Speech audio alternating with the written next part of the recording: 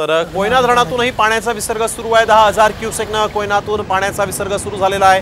कोयनेचे सर्व दरवाजे उघडण्यात आलेले आहेत. कोयना धरणाचे सहा दरवाजे उघडले गेले आणि आता कोयनेतून दहा हजार क्युसेकनं पाण्याचा विसर्ग सुरू करण्यात आलेला आहे. पाऊस पाऊस झालाय आणि कोयना दरवा धरणाचे सहा दरवाजे उघडण्यात आलेले आहेत आणि दहा हजार क्युसेकनं पाण्याचा विसर्ग सुरू आहे.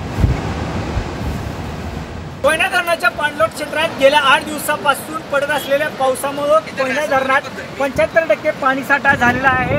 आज कोयना धरणाचे सहाही वक्री दरवाजे उघडण्यात आलेले आहेत आणि दीड फुटाने हे वक्री दरवाजे उघडण्यात आलेले आहेत. दहा हजार क्युसेक पाणी हे नदीपात्रात सोडण्यात येत आहे. आज सायंकाळी सात वाजल्यापासून हा विसर्ग आणखी वाढवण्यात येणार आहे आणि वीस हजार क्युसेक पाणी कोयना नदीच्या पात्रात सोडण्यात येणार आहे. यामुळं पाटण सांगली या शहरांना पुराचा धोका संभवत आहे.